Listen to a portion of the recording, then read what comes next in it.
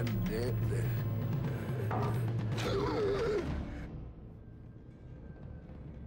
me in. Let me in. Let me in.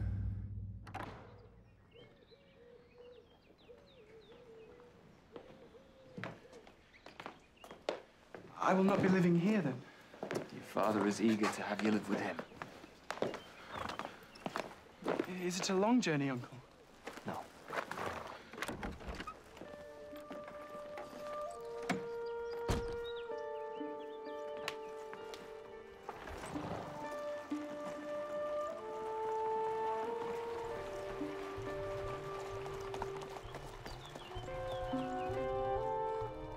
Catherine, my love. He's gone, Nellie. My cousin is gone.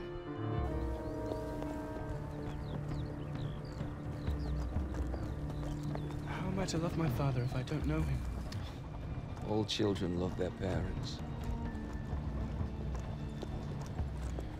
Is Wuthering Heights as pleasant a place as Thrushcross Grange?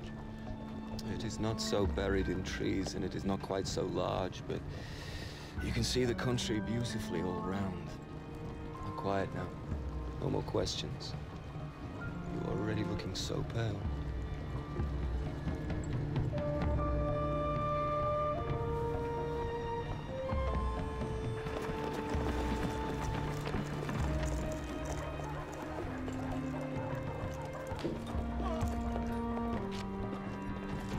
You brought it, have you? I feared I'd have to come down and fetch my property myself. One footstep on my land, and you know what will happen to you. Well, let's see what we can make of it. Oh, God, what a beauty. Oh, damn my soul, it is worse than I expected, and the devil knows I wasn't very hopeful. Looks worse than you.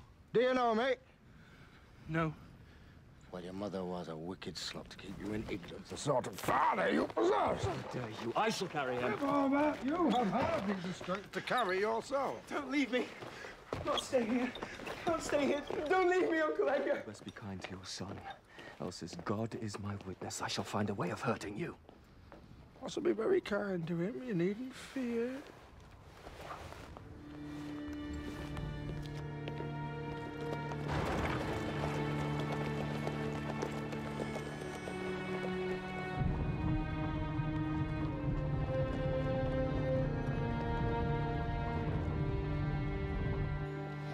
Could he not stay just one night? Just long enough for me to get to know him better. Because I do not think that is what his father would wish for him, Catherine. Is he far away? Exceeding far. Your father travelled all night. When Linton's mother died, I wanted nothing more than to have him here with us, but that is simply not possible. We will have to remain as we have always been, just you and me, the two of us, and Nellie here. All I wanted was a friend. But you took him away and you will not tell me why, so it is not like it always was. It can never be like that anymore.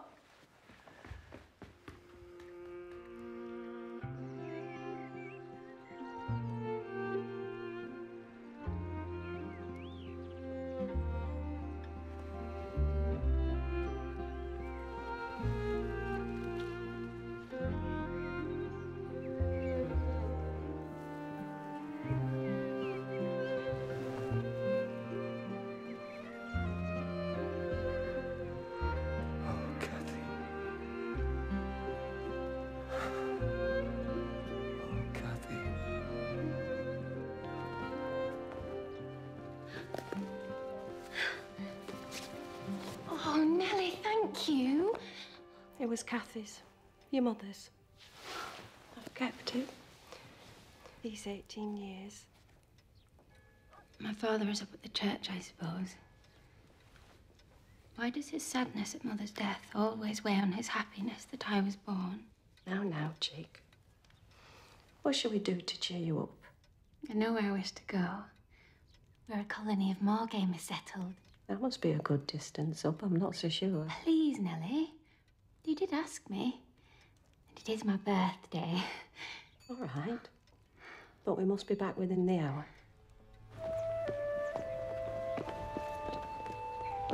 Where are they, Miss Catherine? We must go back. A little further. Only a little further, Ellen.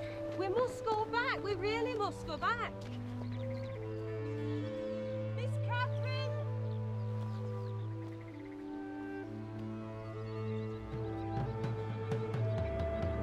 You doing, girl?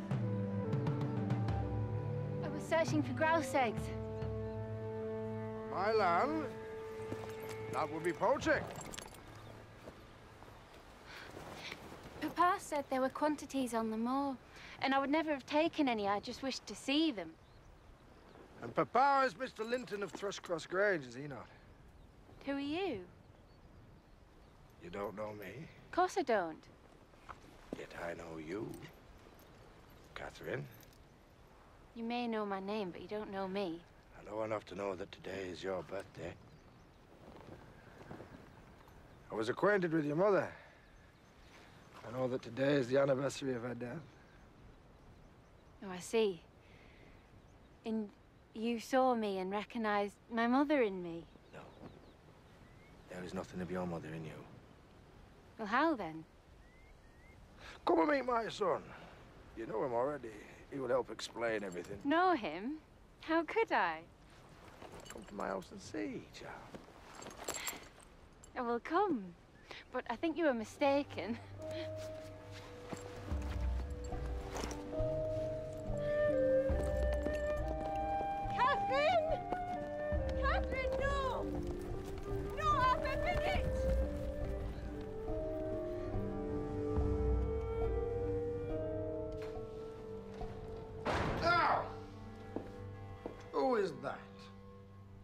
Didn't I tell you you knew him? Linton? Is that you? This is your son.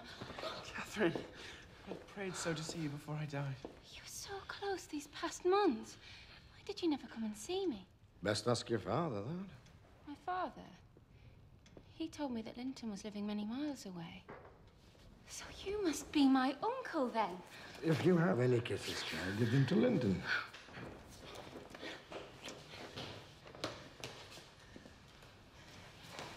Should go, young lady. You should not have come here. Why? Because I would discover that my cousin should be so close. Make yourself at home, Nellie. Your old chair still sits there for you. You lived here too. She did indeed. And she raised your mother here. Is this is true, Nellie? And she raised me also, although I don't know if Nellie looks at me with pride for the job she did. Now, son, have you nothing you can go and show your cousin? Take her to the stables to see the horses. Mm, Wouldn't you rather sit here? I love being out of doors, don't you? Hareton, come here. You shall have to settle for Hareton here. Isn't he a handsome lad? Go with her around the farm and behave like a gentleman, mind, and don't stir.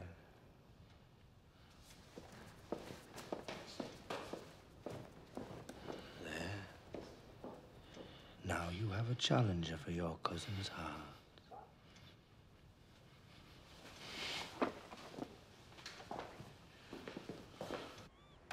It's some damnable writing, but I cannot read it. Perhaps I could help you to read, if your master would allow it.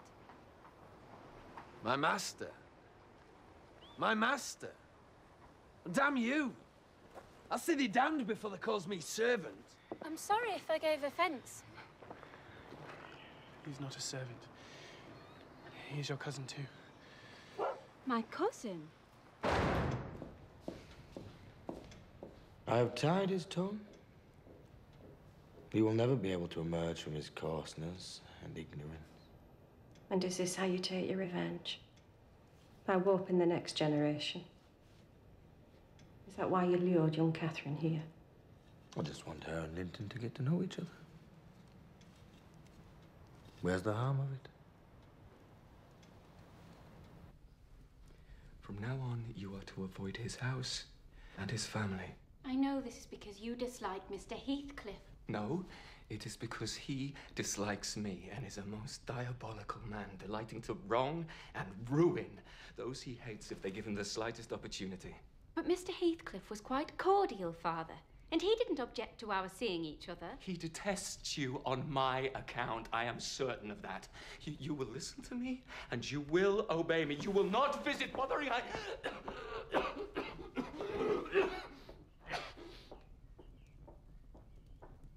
You must rest, sir. I cannot abandon her to him.